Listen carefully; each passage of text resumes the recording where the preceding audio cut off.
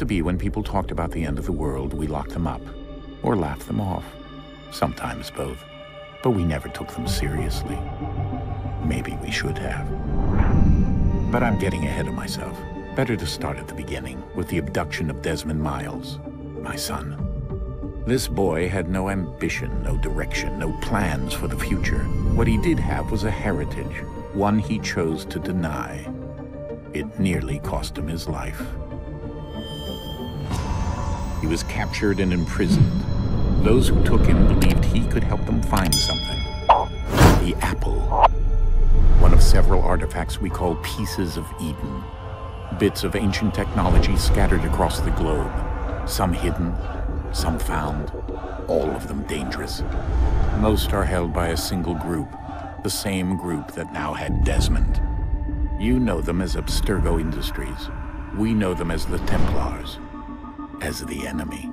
We've been fighting them for thousands of years, even longer if you believe the stories of their origins. I do. After all, I've seen the truth. That's the beauty and the horror of the Animus a device that allows us to enter and experience the lives of our ancestors. It holds the power to change everything, to show us history the way it really happened. Up until its creation, to the victor went the spoils, went the truth. We're trying to fix that, to free minds and bodies both. But there's only so much that we can do, and the Templars have the upper hand these days. But something larger than the Assassins and Templars is approaching. Bigger than all of us, and if we can't find a way to stop it, these next few weeks will probably be our last. Everyone's last.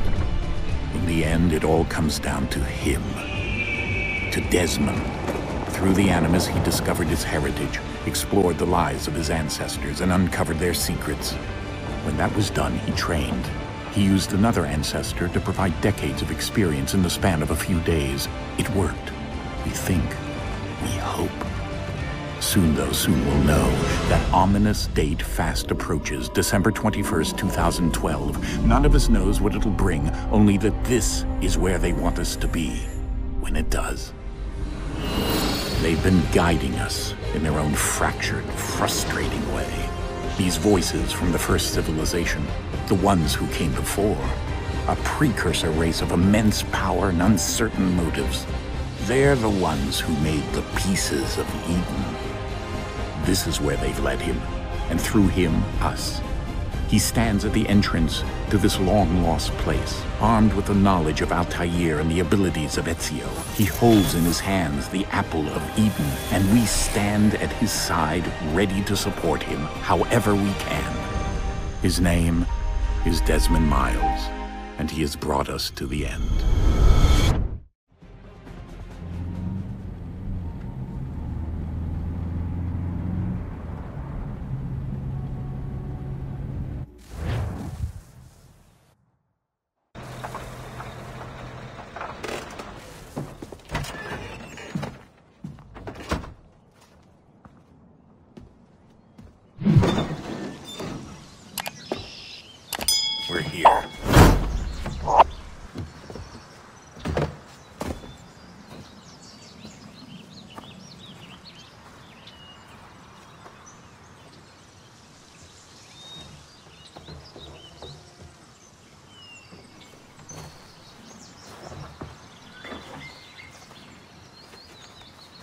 Let's go.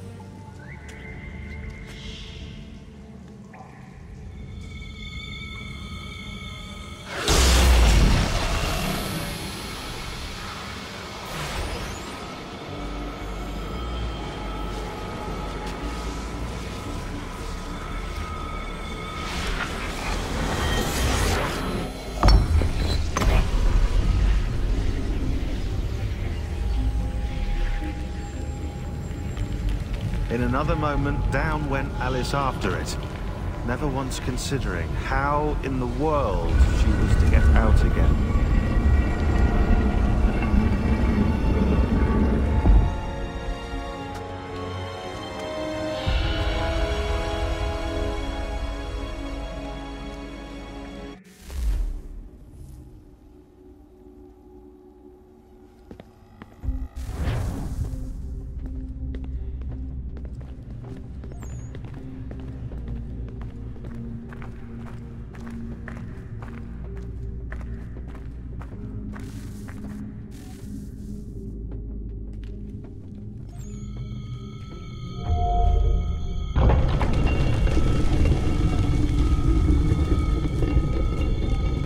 here.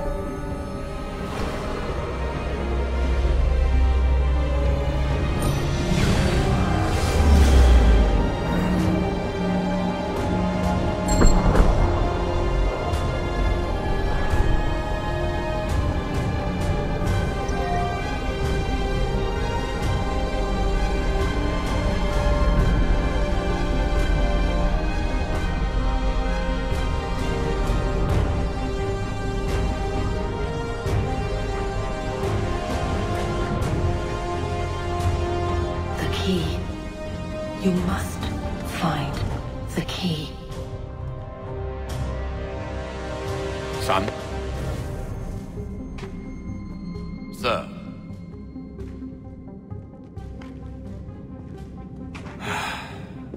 we go again. Desmond? Do you hear us? yeah. What happened? The temple triggered a bleeding effect. You collapsed and entered into a fugue state. So naturally, you dropped me into the Animus instead of, I don't know, making sure I was okay? You weren't in any danger.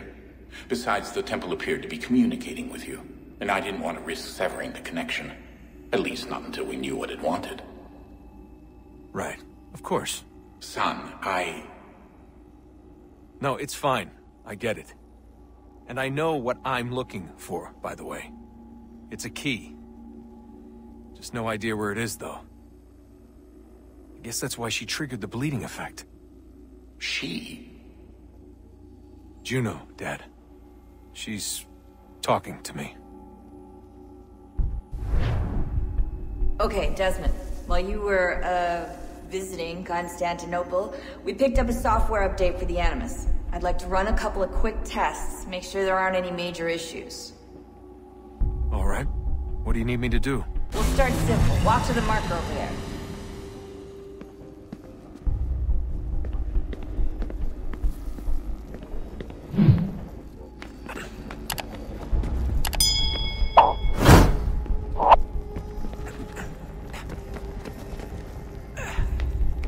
Okay, Desmond. Let's practice climbing on these objects.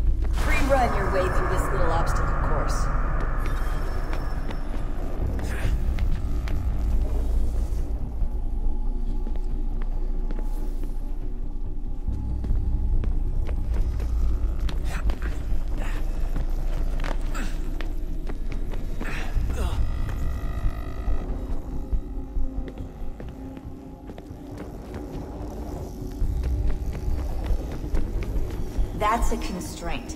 These are optional objectives that raise your synchronization rate. Alright, Desmond. Follow the on-screen instructions and kill the two Templars.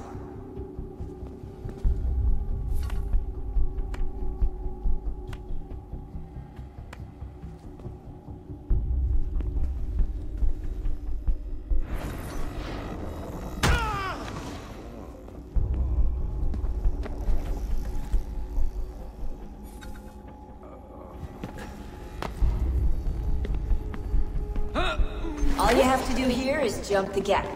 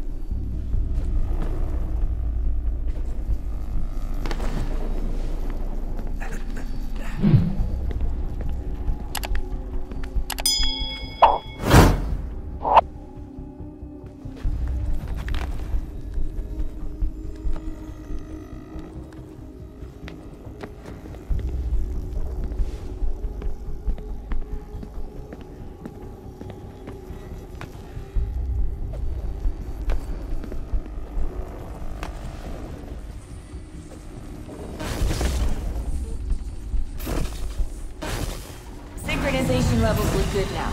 We should be able to build the world. Time to find out what the temple wants from you.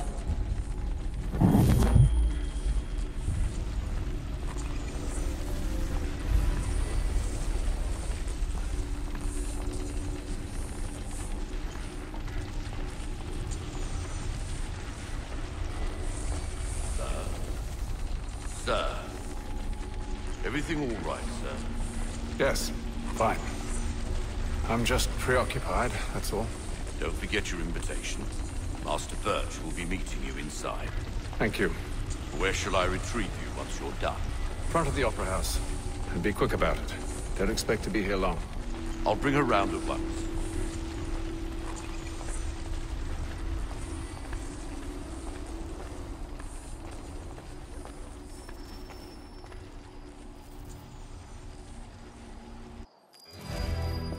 Invitation, please. Shall I take your coat, sir? Well, so he said.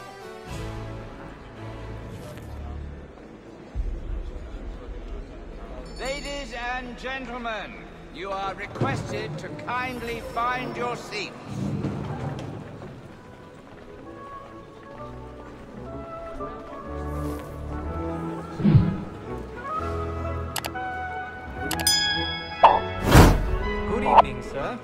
This way, please.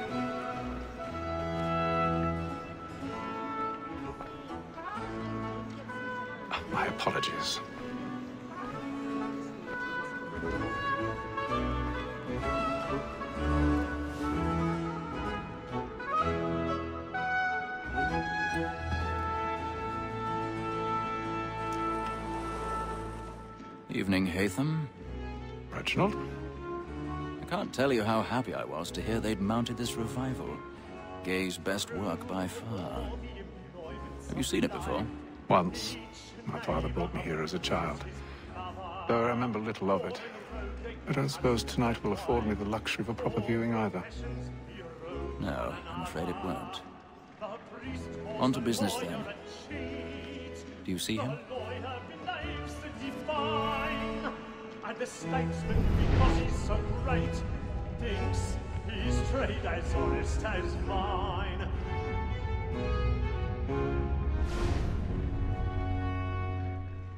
A lawyer is an honest employment, so is mine. Like He's seated in one of the boxes above. The stairs are watched. We'll need to find another way up. But fitting that we should protect and encourage I already have. Since we live by 'em. Sir, Black Moll had sent word her trial comes on in the afternoon, and she hopes you will order matters so as to bring her off. As the wench is very active and industrious, you may satisfy her that I'll soften the evidence. Tom Gagg, sir, A thousand is pardons. found guilty. No my apologies. dog. When I took him the time before, I told him what would come to if he did not mend his hand. This is death without reprieve. I may venture to book it. For Tom Gagg, forty pounds. Let Betty Sly know I'll save her from the transportation, or I can get more by her staying in. Betty hath brought more goods into our locked year than any five of the gang. And in truth, 'tis a pity to lose so good a customer. If none of the gang take her off, she may, in the common course of business, live her 12 months longer. I love to let women escape. A good sportsman always lets the partridges fly because the breed of the game depends on. Besides, here the law allows us no reward. There's nothing to be got by the death of women, except our wives. Without dispute, she is a fine woman. Twas to her I was obliged to my education. And to say a bold word, she hath trained up more young fellows to the business than the gaming table. Truly, Filch, thine observation is right. We and the surgeons are more beholden to women than all the professions. Sir, Black Moll hath sent word her trial comes on in the afternoon, and she hopes you will order matters so as to bring her off.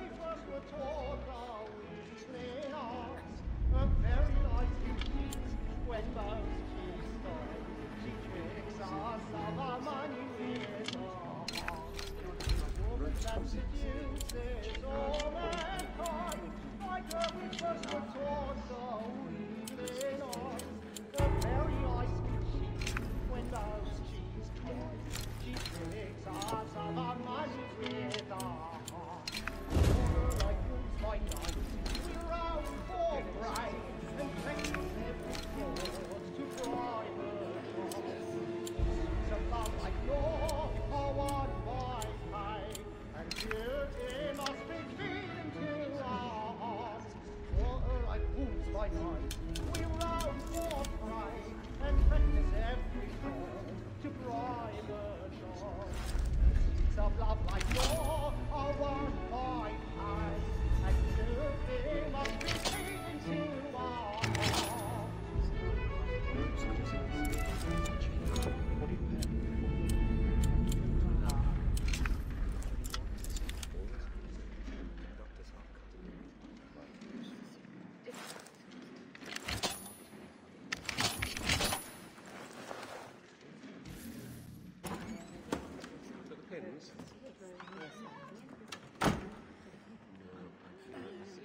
But make haste and use it, boy. And let me friends know what I intend. For I love to make them easy one way or other. When a gentleman is long kept in suspense, certainty might break his spirit ever after. Besides, certainty gives a man a good air upon his trials, and makes him risk another without fear or scruple. But I'll away, for 'tis a pleasure to be the messenger of comfort to friends in affliction. But 'tis now high time to look about me for a decent execution against next session. I ain't a lazy rogue by whom one can get nothing till he's hanged. A register of the gang. Crook-fingered Jack. A year and a half in the service. Let me see how much the stock owes to his in. One, two, three, four, five gold watches, and seven silver ones. A mighty clean-handed fellow. 16 snuff box.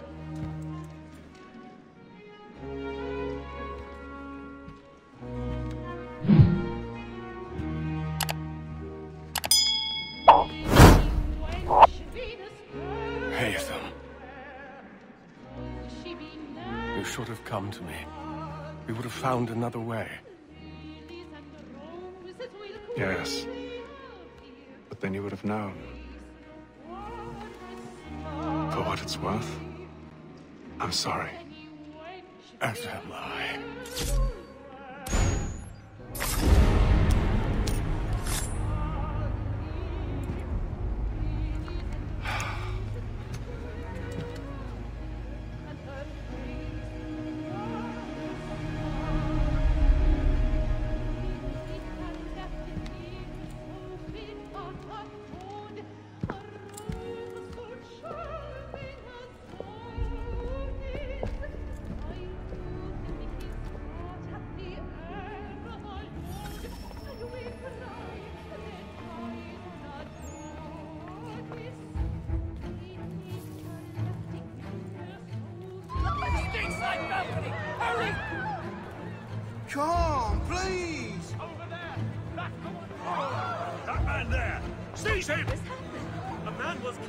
killed in the upper. I, have done no wrong. I search him. Any weapons? I beg your pardon. Did you notice anyone? No pushing, please.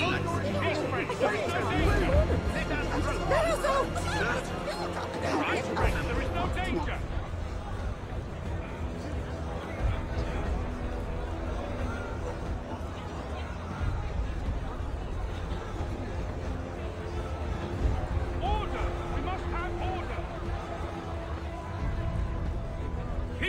There is no danger!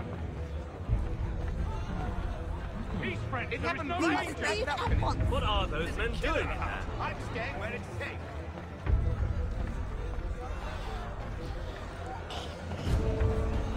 Move! Move! Imbecile!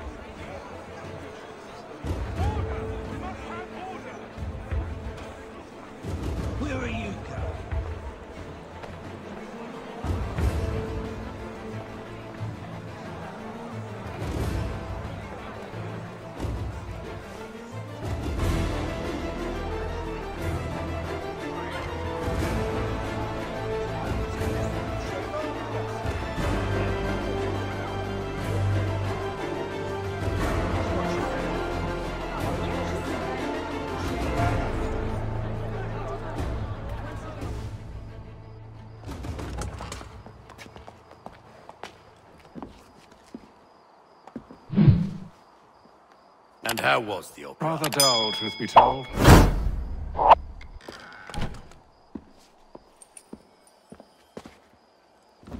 Shall we be off then? Aye. To Fleet and Bride. By your command.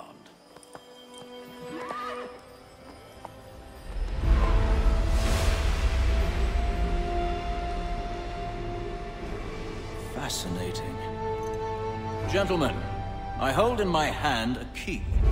If this book is to be believed, it will open the doors of a storehouse built by those who came before. Ah, yes. Those who ruled, reigned, and vanished from the world. Do we know what it is that will be held within? It could contain certain knowledge. Perhaps a weapon, or something as yet unknown, unfathomable in its construction and purpose. It could be any of these things, or none of them.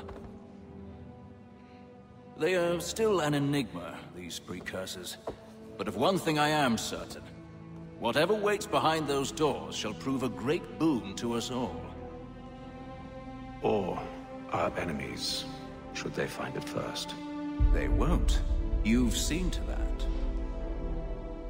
I assume you know where this storehouse is? Ah, Mr. Harrison. Gentlemen, How fare your calculations? I believe the site lies somewhere within this region. That's a lot of ground to cover. My apologies. Were that I could be more accurate. That's all right. It suffices for a start. And that is why we've called you here, Master Kenway. We'd like for you to travel to America, locate the storehouse, and take possession of its contents. I'm yours to command. Although a job of this magnitude will require more than just myself. Of course. Upon this paper are the names of five men sympathetic to our cause. Each is also uniquely suited to aid you in your endeavor. With them at your side, you will want for nothing. Well, then I'd best be on my way. I knew our faith in you was not misplaced. We've booked you passage to Boston. Your ship leaves at dawn. Go forth, Haytham, and bring honor to us all.